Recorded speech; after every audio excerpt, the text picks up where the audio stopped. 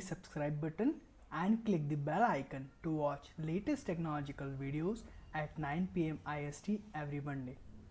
Hello friends, myself Sagar from Developers Thought and in this particular session we're going to discuss about the backup and the restore strategy for Elasticsearch. Now before discuss about the strategy for the backup and restore for the Elasticsearch, let us look at what is Elasticsearch. Elasticsearch is based on NoSQL technology and it is a search and the analytics engine. Okay, it is more or less similar to database, but it has a very different concepts.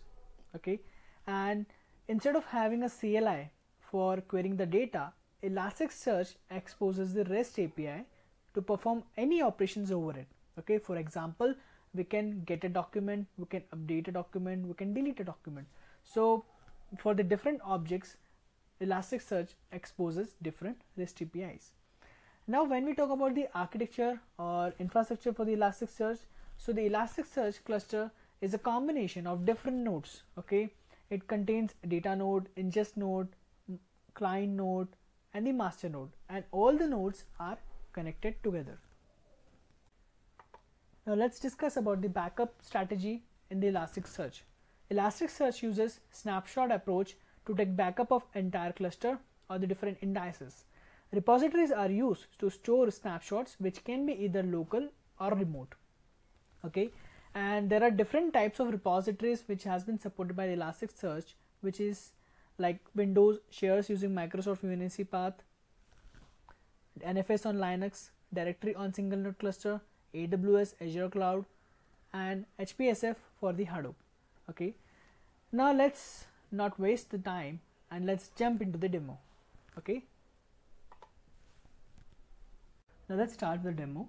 Okay, so in this demo, the first thing that we are going to do here is we'll create a directory which is the backup folder which will contain the data of the snapshots. Second thing is we register this particular directory as a repository in Elasticsearch and then we'll create a data we'll take up the snapshot we'll delete the data okay and then we'll restore the data from that particular snapshot okay so let's begin. So we'll create a directory called elasticsearch backup. Okay now what we're going to do here is we'll we'll go into this. We'll copy the path. And next we'll have to update the configuration file.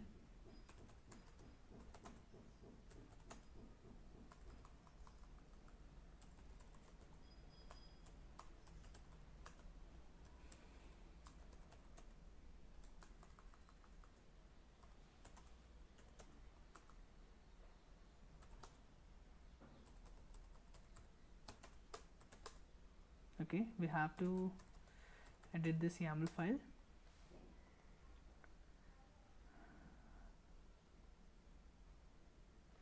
have to search this. Path dot.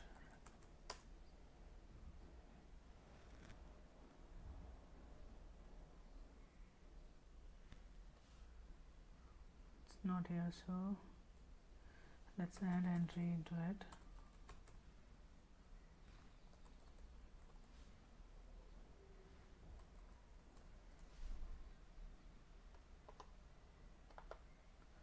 this is the path for our repository.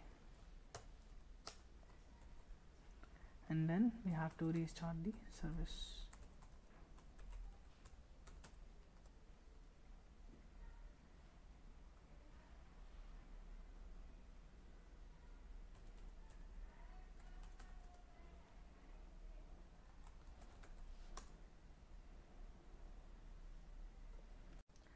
previous step we have seen that we have created a directory which is used to store the snapshots data okay? And we have uh, added this entry into the config file of the elasticsearch okay?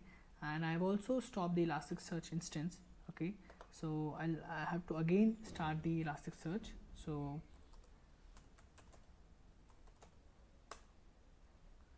so this will start my Elasticsearch instance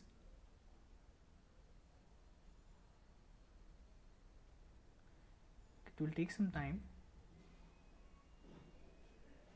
Okay.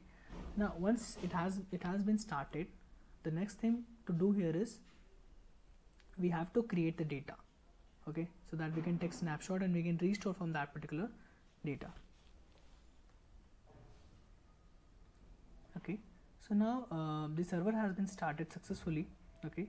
Now let's first register this particular directory into the Elasticsearch okay?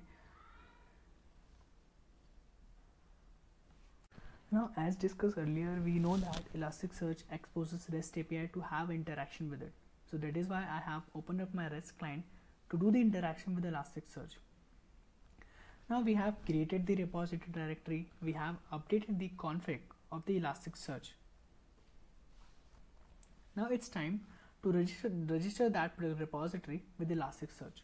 So this is the REST request which is used to register the repository. Here demo underscore backup is the name of the repository that I want to register and this is the value. This is location where that particular uh, repository has been present. Okay, so my repository has been successfully registered. We can verify it uh, with this particular URL, okay, which will list all the repositories which has been registered with the Elasticsearch. So we have a repository registered here. Now next thing is before start uh, with the scenario, we have to create the data, okay, because we have to simulate the scenario of disaster. So to restore the data, we have to have first the data in place in the Elasticsearch. So with this particular request, I'm creating a index as well as and the as well as the document called employee, okay. So I have created this index and a employee document. Now we can verify whether this we can use a get request to list the document itself. So we just have to change the ID here. Okay, as you can see, we have our document in place. Now next do this thing. Let's register so sorry let's just take out the snapshot okay? So this is the main step.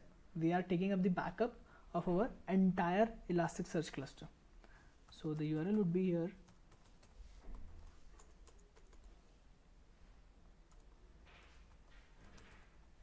Snapshot. Next thing we have to give the name of the repository next thing we have to give the name of the snapshot so let's give the snapshot one okay and we have to provide the flag which will tell Elasticsearch to give the response once the process has been successfully completed.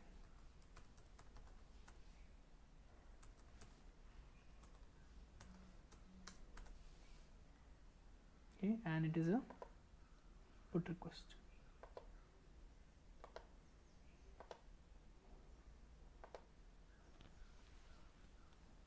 Okay so our snapshot has been created successfully. Okay now next thing what we are going to do here is we'll simulate a scenario wherein all our data has been managed. okay so how to do it? We can delete this particular index okay and we can verify whether the data has been present or not. So index not found exception. That means our index is not present. Okay. Now we can restore the data okay from the recently created snapshot. So the url for that is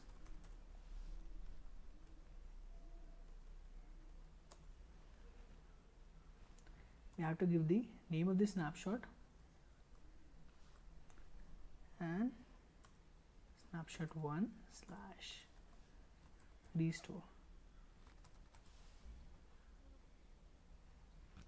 And it's a post request.